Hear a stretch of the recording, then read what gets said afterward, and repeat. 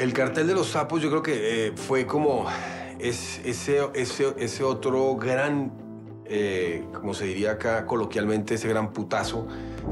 Bájalo un poco. Ahí.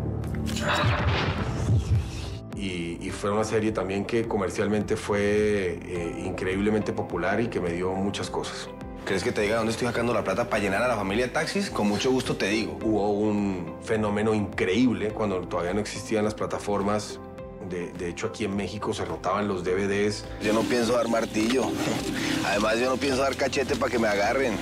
Y fue un fenómeno en toda Latinoamérica y fue la, si no la primera, de las primeras series que, que, que tocaba esa, esa temática y, y, para mí también era muy, eh, digamos, muy...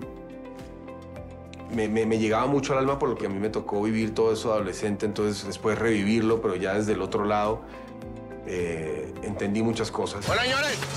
Pilas que cayó la ley, nos toca perdernos.